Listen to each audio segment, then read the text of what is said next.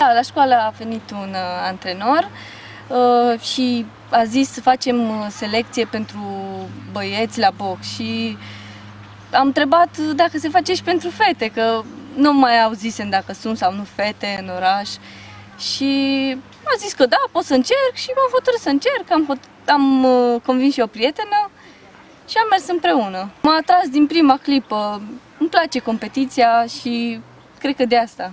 Cred că primele două sau trei meciuri le-am pierdut și țin minte că nu simțeam cumva că nu fac ce trebuie și că nu fac față, dar am zis o să fie bine, o să reușesc.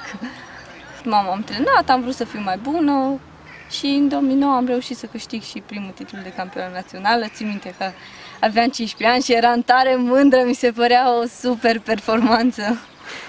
Meciul ăla a făcut diferența. Am văzut că se poate și că dacă vrei poți și de acolo a plecat totul. Am boxat uh, până în 2012, am boxat pentru clubul CSS Hunedoara și în 2012 m-am transferat la clubul Steaua. Uh, În 2014 mi-am făcut debutul la profesioniști în Germania. Anul ăsta am boxat pentru titlul european în țara Galilor.